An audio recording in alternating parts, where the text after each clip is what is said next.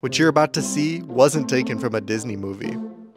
This gorilla is best friends with a deer named Bambi. Would you watch a Bambi and King Kong movie? Write in the comments what you think that plot would look like.